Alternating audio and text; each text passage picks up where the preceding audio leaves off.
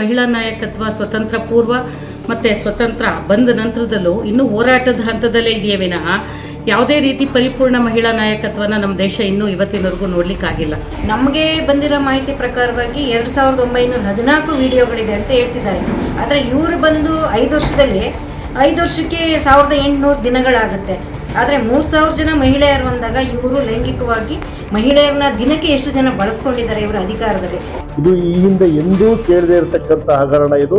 ಮುಂದೆ ಈ ಥರದ ಹಗರಣ ಆಗಬಾರ್ದು. ಬಹುಶಃ ಇವತ್ತು ಹಾಸನಲ್ಲಿ ಏನು ಜನಪರ ಚಳುವಳಿಗಳು ಒಂದು ಉದ್ದೇಶ ಇಟ್ಕೊಂಡು ಒಂದು ಚಳುವಳಿಯನ್ನು ಮಾಡಿದ್ರು. ಇದು ತುಂಬ ಔಚಿತ್ಯಪೂರ್ಣವಾದಂಥ ಚಳುವಳಿ ಅಂತ ನಾನು ಕೂಡ ಭಾವಿಸ್ತೀನಿ. ಹಾಸನ ನಾಗರಿಕನಾಗಿ ನನಗಂತೂ ಬಹಳ ಮುಜುಗರ ತರತಕ್ಕಂಥ ಸಂದರ್ಭ. ಇವತ್ತು ಹಾಸನದ ಹೆಣ್ಣು ಮಕ್ಕಳು ಅದು ಯಾರೇ ಅಧಿಕಾರಿಗಳಲ್ಲಿ, ಯಾರೇ ಇರಲಿ, ಯಾವ ಸಂದರ್ಭದಲ್ಲಿ ಅವ್ರು ಇಷ್ಟಪಟ್ಟಿದಾರೋ, ಕಷ್ಟದಿಂದ ಅವರು ಒಳಗಾಗಿದಾರೋ, ಅವೆಲ್ಲವೂ ಕೂಡ ಎರಡನೇ ಪ್ರಶ್ನೆ. ಇಲ್ಲಿ ಇಲ್ಲಿ ನೇರ ಹೋಗ್ತಿರೋದು ಮಹಿಳೆಯರ ಮಾನ, ಖಾಸಗಿತನ ಹರಾಜಾಗ್ತಾ ಇದೆ. ದಯಮಾಡಿ ತಡೆಗಟ್ಟಿ ಅಂತ ನಾನು ಒತ್ತಾಯ ಮಾಡ್ತಾ ಇದ್ದೀನಿ. ಇಲ್ಲ ಅಂದ್ರೆ ತೀವ್ರತರವಾದ ಪ್ರತಿಭಟನೆಯನ್ನ ಸರ್ಕಾರ ಎದುರಿಸಬೇಕಾಗತ್ತೆ, ಜಿಲ್ಲಾಡಳಿತ ಮತ್ತು ಪೊಲೀಸ್ ಇಲಾಖೆ ಎದುರಿಸಬೇಕಾಗುತ್ತೆ. ನಾಗರಿಕರು ಸುಮ್ಮನೆ ಇಲ್ಲ ಅನ್ನುವಂಥ ಎಚ್ಚರಿಕೆಯನ್ನು ನಾವು ಕೊಡ್ತಾ ಇದ್ವಿ. ಮತ್ತು ಮಾಧ್ಯಮದವರು ನಾವು ಮನವಿ ಮಾಡ್ಕೊಳ್ತೀನಿ ಅಂದ್ರೆ ದಯಮಾಡಿ ಈ ಪ್ರಕರಣದ ಸಂತ್ರಸ್ತೆಯರ ಹೇಳಿಕೆಗಳನ್ನ ದಯಮಾಡಿ ಪ್ರಕಟಣೆ ಪ್ರಕಟಣೆ ಮಾಡಬೇಕಾದ್ರೆ ಸ್ವಲ್ಪ ಒಂದು ಸೂಕ್ಷ್ಮತೆನ ಬಳಸ್ಕೊಳ್ಳಿ ಅನ್ನುವಂಥ ಮನವಿಯನ್ನ ಮಾಡ್ಕೊಳ್ಳಿ. ಯಾಕೆಂದ್ರೆ ಒಂದು ಒಂದು ಈಗ ಯಾವುದೋ ಒಂದು ಹೇಳಿಕೆ ಬಂದಿದೆ. ಆ ಹೇಳಿಕೆಯನ್ನು ನೋಡಿದ ತಕ್ಷಣ ಇಂಥವ್ರು ಅಂತ ಕೆಲವರು ಅನುಮಾನ ಆಗುತ್ತೆ. ಇನ್ನು ಉಳಿದಂಥ ಸಂತ್ರಸ್ತೆಯರು ಖಂಡಿತವಾಗಿ ಎಸ್ ಐ ಟಿ ಮುಂದೆ ಹಾಜರಾಗ, ಆಗೋದಕ್ಕೆ ಹಿಂಜರಿತಾರೆ. ಸೊ ಸಂತ್ರಸ್ತೆಯರು ಎಸ್ ಐ ಟಿ ಮುಂದೆ ಹಾಜರಾಗಲಿಲ್ಲ ಅಂತ ಅಂದರೆ ಈ ಪ್ರಕರಣವನ್ನು ಸರಿಯಾದ ತನಿಖೆ ಮಾಡಲಿಕ್ಕೆ ಆಗೋದಿಲ್ಲ. ದಯಮಾಡಿ ಇನ್ನು ಮುಂದೆ ಇಂಥ ಅನಾಹುತಗಳಾಗೋದನ್ನು ತಡಿಬೇಕು. ಸರ್ಕಾರ ಅತ್ಯಂತ ಗಂಭೀರ ಪರಿಗಣಿಸಬೇಕು ಅಂತ ಮನವಿ ಮಾಡ್ಕೊಳ್ತೀವಿ. ಏಕೆಂದರೆ ಇದು ಈ ಹಿಂದೆ ಎಂದೂ ಕೇಳದೇ ಇರತಕ್ಕಂಥ ಹಗರಣ ಇದು. ಮುಂದೆ ಈ ಥರದ ಹಗರಣ ಆಗಬಾರ್ದು. ಇನ್ನು ಎಷ್ಟು ವಿಡಿಯೋಗಳಿದೆಯೋ ಯಾರ ಕೈ ಸೇರ್ಕೊಂಡಿದೆಯೋ, ಎಂತೆಂಥ ವ್ಯಕ್ತಿಗಳವರು, ಎಷ್ಟೆಷ್ಟು ಸಮಾಜ ಘಾತಕರಿದಾರೋ ಅದರಲ್ಲಿ, ಯಾರೆಲ್ಲ ವಿಡಿಯೋ ಇದೆ ಎಲ್ಲೆಲ್ಲಿ ಬಳಕೆ ಆಗುತ್ತೋ, ಯಾವ್ಯಾವ ಹೆಣ್ಣು ಮಕ್ಕಳನ್ನ ಎಲ್ಲೆಲ್ಲಿ ಬ್ಲಾಕ್ ಮೇಲ್ ಮಾಡಲಾಗುತ್ತೋ ಸೊ ಎಲ್ಲ ಅನಾಹುತಗಳು ನಾವು ಸಾಕ್ಷಿ ಆಗ್ಬೇಕಾಗತ್ತೆ. ದಯಮಾಡಿ ಇದನ್ನ ಗಂಭೀರ ಪರಿಗಣಿಸಬೇಕು ಕೂಡ್ಲೇನೆ ಹೊಸ ತಂತ್ರಜ್ಞಾನವನ್ನಾದ್ರೂ ಬಳಸಿ ಜಿಲ್ಲಾಡಳಿತ, ಸರ್ಕಾರ ಎಸ್ ಐ ಟಿಯನ್ನು ತಡಿಬೇಕು ಅನ್ನೋ ಮನವಿಯನ್ನ ನಾವು ಮಾಡ್ಕೊಳ್ತೇವೆ. ಇಲ್ಲಾಂದ್ರೆ ದೊಡ್ಡ ಪ್ರತಿಭಟನೆ ಎದುರಿಸಬೇಕಾಗುತ್ತೆ ಅನ್ನೋದನ್ನ ಹೇಳಲಿಕ್ಕೆ ನಾನು ಬಯಸ್ತೇನೆ. ಹಾಸನ ಅಂದ್ರೆ ರಾಜಕೀಯದ ತೋರೂರು ಅಂತ ಹೇಳ್ಬಿಟ್ಟು ಎಲ್ಲರೂ ಇಂಥ ಊರಿನವರು ಅಂತ ಕೇಳ್ತಾ ಇದ್ರು. ಆ ರೀತಿ ಹೆಸರು ಬಂದಂತ ಹಾಸನ ಜಿಲ್ಲೆಯ ಹೆಸರನ್ನ ಹಾಳು ಮಾಡೋದಕ್ಕೋಸ್ಕರ. ಅದ ಎರಡ್ ಸಾವಿರ, ಮೂರ್ ಸಾವಿರ ಹೆಣ್ಮಕ್ಳ ಮೇಲೆ ನೀವು ಎಲ್ಲೆಲ್ಲೋ ವೇದಿಕೆ ಮೇಲೆ ನಿಂತ್ಕೊಂಡು ಅನ್ಯಾಯ ಆಗಿದೆ ಅನ್ಯಾಯ ಆಗಿದೆ ಯಾರು ಯಾರು ಹೆಣ್ಮಕ್ಳಿಗೆ ನೀವು ನ್ಯಾಯನ ಕೊಡಿಸಿದ್ದೀರಿ? ಯಾರು ಹಿಡ್ಕೊಂಡು ನೀವು ಯಾರು ನೀವು ಇಲ್ಲಿ ಬರತಕ್ಕಂಥವ್ರು ಪರವಾಗಿ ಮಾತಾಡೋ ಅಂತವ್ರು ಯಾರು ಎಲ್ಲೆಲ್ಲಿಂದ ದೂರವಾಣಿ ಕರೆಗಳು ಬರ್ತಾ ಇದ್ದಾವೆ? ಏನಿದೆ? ಅಲ್ಲಿಂದ ನಾವು ಇವತ್ತು ಹಾಸನ ನಾಗರಿಕರ ಪರವಾಗಿ, ಕನ್ನಡ ಪರ ಸಂಘಟನೆ ಸಮೇತ ನಾವು ಇದ್ರ ಪರ ಹೋರಾಟ ಮಾಡ್ಬೇಕು. ಯಾಕಂದ್ರೆ ಹಾಸನಕ್ಕೆ ಬೇಕಾದ ಸವಲತ್ತುಗೋಸ್ಕರ ಹೋರಾಟ ಮಾಡಿದಾಗ, ಹಾಸನಕ್ಕೆ ಕಿಂಚತ್ತು ಧಕ್ಕೆ ಬಂದ ನಾವು ಹೋರಾಟ ಮಾಡ್ತೀವಿ ಅಂತ ಹೇಳಿದ್ವಿ ಕಾನೂನು ರೀತಿಯಲ್ಲಿ ಅವರು ಅಳವಡಿಸ್ತೀವಿ ಎಲ್ಲಿ ಏನೇನು ಅತ್ಯಾಚಾರ ಆಗಿದೆ, ಅವ್ರಿಗೆ ಶಿಕ್ಷೆ, ಗಲ್ಲಿ ಶಿಕ್ಷೆ ಕೊಡಲಿ. ನಾವು ಯಾರ ಪರನೂ ಇಲ್ಲ. ನಾವು ಹಾಸನದ ಹೆಣ್ಣುಮಕ್ಕಳ ಫಲ ಹಾಸನದ ಕಾಯೋದಕ್ಕೋಸ್ಕರ ಈ ಪತ್ರಿಕಾಗೋಷ್ಠಿಯನ್ನು ಕರೆದೀವಿ ಹಾಸನದಲ್ಲಿ ಹಾಸನದಲ್ಲಿ ಮಾಡೋದಂತ ಬೇಕಾದಷ್ಟು ಕೆಲಸಗಳು, ಉತ್ತಮ ಕೆಲಸ ಇದೆ. ಯಾವತ್ತೂ ನೀವು ಕೈ ಇವತ್ತು ಹೇಳಿಕೆ ಕೊಡೋರು. ಬೆಂಗಳೂರಿನಂತೆ ಹೇಳಿಕೆ ಕೊಡ್ತಾ ಇದ್ದೀರಿ. ಕಲಬುರಗಿನಲ್ಲಿ ಹೇಳಿಕೆ ಕೊಡ್ತಾ ಇದ್ದೀರಿ. ಡೆಲ್ಲಿನಲ್ಲಿ ಕೂತು ಹೇಳಿಕೆ ಕೊಡ್ತಾ ಇದ್ದೀರಿ. ಹಾಸನದಲ್ಲಿ ಬೇಕಾಗಿದ್ದಂತ ಕೆಲಸಕ್ಕೆ ಯಾರು ನೀವು ಇವತ್ತುವರೆಗೆ ಮಾತಾಡಿದ್ದೀರಾ? ಯಾರೋ ಒಬ್ಬ ತಪ್ಪು ಮಾಡಿದಕ್ಕೋಸ್ಕರ ಯಾರೋ ಮಾಡ್ಲಿ? ನಾವು ಅವನ್ನ ಅವ್ನ ನಾವು ಹಚ್ಕೊಳ್ಳೋಕೆ ತಯಾರಿಲ್ಲ. ಹೆಣ್ಮಕ್ಳಿಗೆ ಆದ ಅನ್ಯಾಯ, ಅನ್ಯಾಯನೇ. ನನ್ನ ತಂದೆ ಆಗಿದ್ದು ಅಷ್ಟೇ, ನನ್ನ ಹೆಂಡತಿಗಾದ್ರು ಅನ್ಯಾಯ, ಅನ್ಯಾಯನೇ.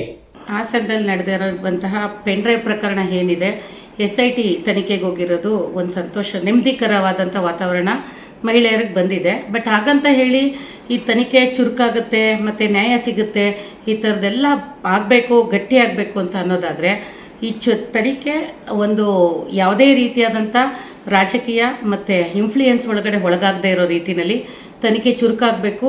ಮತ್ತೆ ಇಲ್ಲಿ ಅಧಿಕಾರಿಗಳು ಏನೆಲ್ಲ ನಡೆದಿದೆ, ಈ ಮೂರ್ತಿದು ಒಂದು ವಾರದ್ದು ಐದು ದಿನದ ಬೆಳವಣಿಗೆಗಳಲ್ಲ. ಎಲ್ಲ ಅಧಿಕಾರಿಗಳಿಗೆ ಗೊತ್ತಿರೋ ಹಾಗೆ ಇದು ಐದರಿಂದ ಆರು ತಿಂಗಳಿಂದ ನಡೀತಾ ಇದೆ. ಅದು ಗೌಪ್ಯವಾಗಿ ನಡೀತಾ ಇತ್ತು, ಮತ್ತೆ ಬಹಿರಂಗವಾಗಿ ನಡೀತಾ ಇತ್ತು.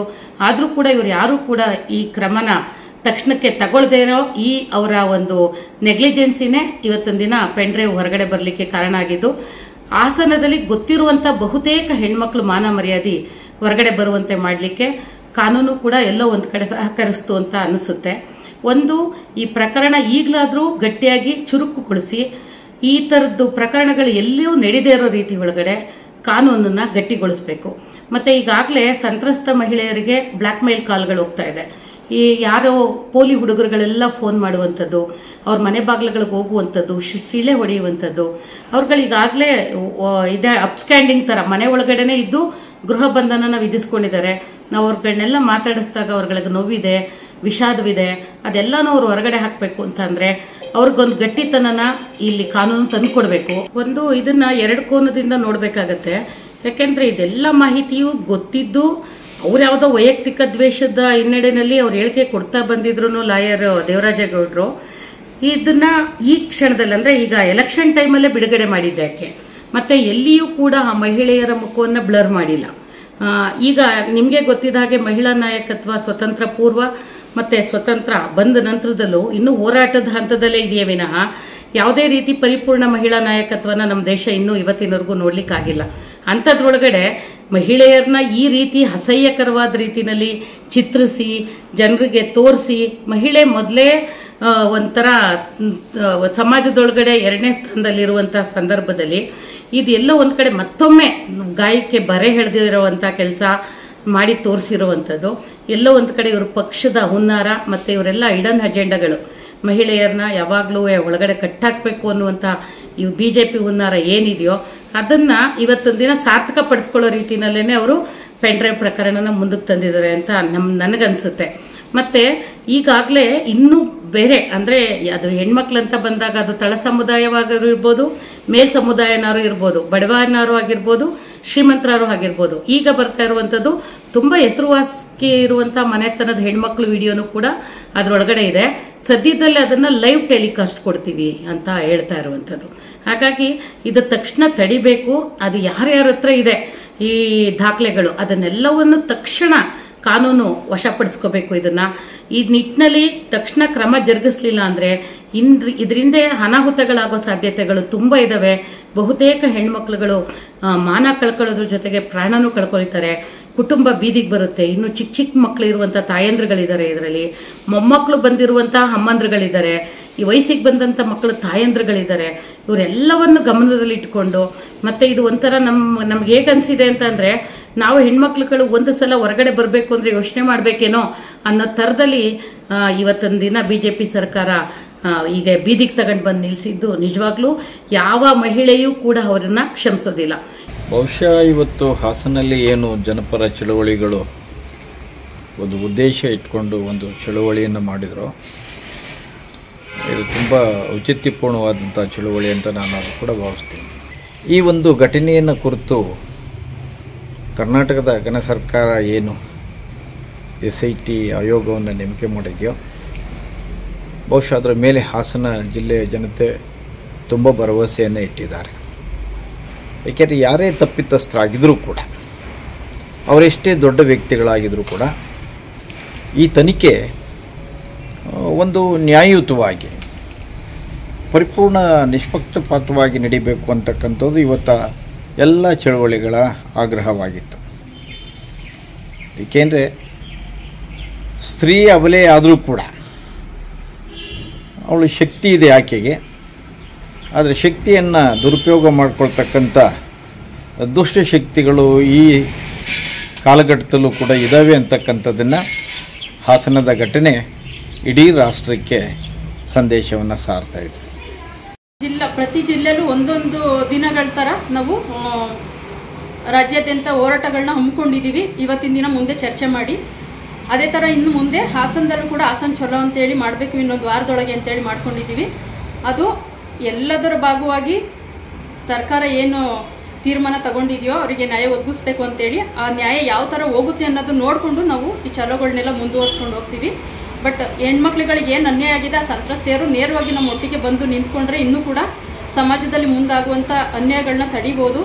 ಇಂಥ ಕಾಮುಕರಿಂದ ಹೆಣ್ಮಕ್ಳುಗಳು ಇನ್ನೊಂದಷ್ಟು ಬೀದಿಗೆ ಎಳಿಬೋದು ಅಂತೇಳಿ ಇದರಲ್ಲಿ ಯಾರೂ ಕೂಡ ಬೇರೆ ಥರದ ಯೋಚನೆಗಳನ್ನ ಮಾಡಬಾರ್ದು ಯಾವ ಹೆಣ್ಮಕ್ಳುಗಳು ನಿಮ್ಮೊಟ್ಟಿಗೆ ನಾವು ಇರ್ತೀವಿ ಮುಂದು, ಮುಂದೆ ಸಹ ಯಾವುದೇ ಹೆಣ್ಮಕ್ಳುಗಳು ಬಂದು ನಮ್ಮ ಒಟ್ಟಿಗೆ ನೇರವಾಗಿ ಇದನ್ನು ಹಂಚ್ಕೋಬೋದು. ನಿಮ್ಮೊಟ್ಟಿಗೆ ಯಾವಾಗ ನಾವು ಸಹಾಯಕ್ಕೆ ಇರ್ತೀವಿ ಅಂತ ಹೇಳ್ತಾ ನಮ್ಮ ಮಾತು ಮುಗಿಸ್ತೀವಿ ನಮ್ಮ ಹಾಸನ ಜಿಲ್ಲೆ ಎಂ ಪಿ ಆದಂತಹ ಪ್ರಜ್ವಲ್ ರೇವಣ್ಣ ಅವರು ಅವರು ಮಹಿಳೆಯರು ಅನೇಕ ವಿಚಾರಗಳಾಗಿ ಅವ್ರ ಹತ್ರ ಹೋಗಿರ್ತಾರೆ. ಯಾಕೆಂದರೆ ಅವರೊಬ್ಬರು ಎಂ ಪಿ ಆಗಿರೋದ್ರಿಂದ ಅವ್ರ ಹತ್ರ ವಿಚಾರಗಳ ಭಾಗವಾಗಿ ಹೋಗಿರ್ತಾರೆ. ಏನಾದ್ರು ಕೆಲಸಗಳನ್ನ ಕೇಳೋಕ್ಕೋ ಅಥವಾ ಏನಾದ್ರು ಬೇರೆ ಬೆನಿಫಿಟ್ಗಳು ಏನಾದ್ರು ಇದ್ದರೆ ಕೇಳೋಕ್ಕೆ ಹೋಗಿರ್ತಾರೆ. ಅಂಥ ಟೈಮಲ್ಲಿ ಇವ್ರನ್ನ ಅವ್ರನ್ನ ಲೈಂಗಿಕವಾಗಿ ಬಳಸ್ಕೊಂಡು ಇಡೀ ಜಿಲ್ಲಾದ್ಯಂತ ಪೆನ್ ಡ್ರೈವ್ ಪೆನ್ ಅಂತ ಎಲ್ಲ ಕಡೆನೂ ಮಕ್ಕಳ ಕೈಲೂ ಕೂಡ ಇವತ್ತು ಆ ವಿಡಿಯೋಗಳು ಹರಿದಾಡ್ತಾ ಇದೆ. ಆ ಸಂತ್ರಸ್ತ ಮಹಿಳೆಯರ ಮನೇಲಿ ಅವರ ಕೌಟುಂಬಿಕವಾಗೂ ಕೂಡ ಸಮಸ್ಯೆ ಆಗ್ತದೆ. ಯಾಕೆಂದ್ರೆ ಇವತ್ತು ಕೌಟುಂಬಿಕವಾಗಿ ಅವ್ರ ಮನೆಯಲ್ಲಿ ಈ ಥರ ಎಲ್ಲ ವಿಡಿಯೋಗಳು ಬಂದಾಗ ಅವ್ರಿಗೂ ಸಂತ್ರಸ್ತಿಗೂ ಕೂಡ ಅವ್ರ ಮಾನ ಹರಾಜಾಗಿದೆ, ಅವ್ರ ಮಾನ ಮರ್ಯಾದೆ ಹೋಗಿದೆ. ನಾನು ಹೆಂಗಪ್ಪ ಬದುಕೋದು ಅನ್ನೋ ಪರಿಸ್ಥಿತಿನಲ್ಲಿ ಕೂಡ ಇವತ್ತು ಮಹಿಳೆಯರು ಅಂಥ ಸ್ಥಿತಿನಲ್ಲಿದ್ದಾರೆ ಹಾಗಾಗಿ ನಾವಿವತ್ತು ಐದು ವರ್ಷದಲ್ಲಿ ಎಂ ಪಿ ಆದಂಥ ಸಂದರ್ಭದಲ್ಲಿ ನಮಗೆ ಬಂದಿರೋ ಮಾಹಿತಿ ಪ್ರಕಾರವಾಗಿ ಎರಡು ಸಾವಿರದ ಒಂಬೈನೂರ ಹದಿನಾಲ್ಕು ವಿಡಿಯೋಗಳಿದೆ ಅಂತ ಹೇಳ್ತಿದ್ದಾರೆ. ಆದರೆ ಇವರು ಬಂದು ಐದು ವರ್ಷದಲ್ಲಿ, ಐದು ವರ್ಷಕ್ಕೆ ಸಾವಿರದ ಎಂಟುನೂರು ದಿನಗಳಾಗುತ್ತೆ. ಆದರೆ ಮೂರು ಸಾವಿರ ಜನ ಮಹಿಳೆಯರು ಅಂದಾಗ ಇವರು ಲೈಂಗಿಕವಾಗಿ ಮಹಿಳೆಯರನ್ನ ದಿನಕ್ಕೆ ಎಷ್ಟು ಜನ ಬಳಸ್ಕೊಂಡಿದ್ದಾರೆ ಇವರ ಅಧಿಕಾರದಲ್ಲಿ? ಅಧಿಕಾರ ಇವ್ರದ್ದು ಹಣದ ದರ್ಪ, ಅಧಿಕಾರ ದರ್ಪದಿಂದ ಶೋಷಣೆಗಾದ ಹೆಣ್ಮಕ್ಳಿಗೆ ಇವತ್ತು ಎಷ್ಟು ಅನ್ಯಾಯ ಆಗಿದೆ. ಅದ್ರ ಪರವಾಗಿ ನಾವು ಇವತ್ತು ಕಾರ್ಮಿಕ ಸಂಘಟನೆಗಳಿರ್ಬೋದು. ಕಾರ್ಮಿಕ ಸಂಘಟನೆಗಳು, ಕಾರ್ಮಿಕರು, ರೈತರ ಹೆಣ್ಮಕ್ಳು ಕೂಡ ಏನಾರು ಒಂದು ಈಗ ಆಲ್ ಇಂಡಿಯಾ ಇದೆ ಏನಾರು ಒಂದು ಬೆನಿಫಿಟ್ ಬೇಕು ಅಂತ ಕೇಳಕ್ ಹೋದಾಗ ಈ ಥರ ಅವ್ರನ್ನ ಮನೆ ಒಳಗೆ ಕರೆಸ್ಕೊಂಡು ಅವ್ರಿಗಿಂತ ಏಜ್ ಆಗಿರೋ, ಅವ್ರ ತಾಯಿಗಿಂತ ಏಜ್ ಆಗಿರೋ ಅಂತ ಒಬ್ರು ಮಹಿಳೆಯನ್ನ ಬೇಡ ಅಂದ್ರೂ ಬಿಡದಂಗೆ ಅದೊಂದು ವಿಡಿಯೋಗಳನ್ನ ನೋಡಿದೀವಿ. ಆ ಥರ ಹಿಂಸೆ ಕೊಟ್ಟಿರೋದು. ಹಂಗಾಗಿ ನಾವು ಇವತ್ತು ಹೇಳ್ತಾ ಇದೀವಿ, ಇವತ್ತು ಹಾಸನದಲ್ಲಿ ಇಂಥ ದೌರ್ಜನ್ಯ ನಡೆದಿರೋದು, ಇಂಥ ನಿಜವಾಗ್ಲೂ ಊಹಿಸ್ಕೊಳ್ಳೋಕ್ಕೆ ಆಗೋದಿಲ್ಲ ಅಂತ ಪರಿಸ್ಥಿತಿಗಳು ನಮ್ಮ ಹಾಸನ ಜಿಲ್ಲೆ ಹೆಣ್ಮಕ್ಳು ಇವತ್ತು ಅನುಭವಿಸಬೇಕಾಗ್ತದೆ. ಮತ್ತೆ ಈ ಬಾರಿನೂ ಕೂಡ ಅವರು ಚುನಾವಣೆಗೆ ಸ್ಪರ್ಧಿಸೋದ್ರಿಂದ ಸ್ಪರ್ಧಿಸೋದ್ರಿಂದ ನಾಳೆ ದಿನ ಅವರು ಕೂಡ ಬಂದರೆ ಕೂಡ ಮತ್ತೆ ಮುಂದಿನ ದಿನಗಳಲ್ಲಿ ಇವರು ಎಷ್ಟು ಜನ ಹೆಣ್ಮಕ್ಳನ್ನ ಅದು ಲೈಂಗಿಕವಾಗಿ ಬಳಸ್ಕೊತಾರೆ ಅದ್ರ ಭಾಗವಾಗಿ ನಾವು ಇವತ್ತು ಹೇಳ್ತಾ ಇದೀವಿ. ಅವರು, ಅವ್ರು ಎಲ್ಲೇ ಇದ್ರೂ ಕೂಡ, ಯಾವ ಮೂಲೆಯಲ್ಲಿ ಅಡಗಿದ್ರು ಕೂಡ ಅವ್ರನ್ನ ಇವತ್ತು ಕರೆತಂದು ಅವ್ರನ್ನ ಬಂಧನ ಮಾಡಬೇಕು, ಬಂಧನಕ್ಕೆ ಒಳಗೆ ಮಾಡಬೇಕು.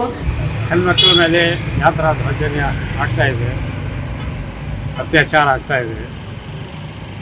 ಈ ಪ್ರಜಾಪ್ರಭುತ್ವ ದೇಶದಲ್ಲಿ ಈ ಥರ ಆಗ್ತಾ ಇದೆಯಲ್ಲ ಅದು ಯಾರು ಸಾಮಾನ್ಯವಾಗಿ ಮನುಷ್ಯರು ಮಾಡ್ತಾ ಇಲ್ಲ. ದೊಡ್ಡ ದೊಡ್ಡ ಲೀಡರ್ಗಳು, ಪಾರ್ಟಿ ಲೀಡರ್ಸು ಮತ್ತು ಬೇರೆ ಡಿಪಾರ್ಟ್ಮೆಂಟ್ಸ್ ಹಿರಿಯರು ಈ ಥರ ಇದೆಲ್ಲ ಮಾಡ್ತಾ ಇದ್ದಾರೆ. ಅದಕ್ಕೆ ಅದಕ್ಕೆ ಅಗೇನ್ಸ್ಟು ನಾವೆಲ್ಲ ಸೇರಿ ಮುಂದಿನ ಈ ಥರ ಆಗಬಾರ್ದು.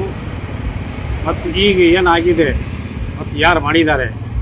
ಎಸ್ಪೆಷಲಿ ಪ್ರಜ್ವಲ್ ರೇವಣ್ಣ ಮತ್ತು ಎಸ್ ಡಿ ರೇವಣ್ಣ ಅವರು ಏನು ಇದಕ್ಕೆ ಈ ಈ ಥರ ಮಾಡಿ ಇದು ಮಾಡಿದ್ದಾರೆ, ಅವ್ರಿಗೆ ಅರೆಸ್ಟ್ ಮಾಡಬೇಕು. ಅವ್ರಿಗೆ ಸೆಕ್ಸುವಲ್ ಹ್ಯಾರಾಸ್ಮೆಂಟ್ ಸೆಕ್ಷನ್ಸ್ ಏನೇನಿದೆ, ಎಲ್ಲ ಸೆಕ್ಷನ್ಸ್ ಹಾಕಿ ಅವ್ರಿಗೆ ತಕ್ಷಣ ಅರೆಸ್ಟ್ ಮಾಡಿ. ಮತ್ತಷ್ಟು ವಿಶೇಷ ವಿಡಿಯೋಗಳನ್ನು ನೋಡಲು ಮತ್ತು ಹೊಸ ವಿಡಿಯೋಗಳ ಬಗ್ಗೆ ತಿಳಿಯಲು ಈ ದಿನ dot com YouTube channel subscribe ಮಾಡಿ ಮತ್ತು ಬೆಲ್ ಐಕಾನ್ ಕ್ಲಿಕ್ ಮಾಡಿ.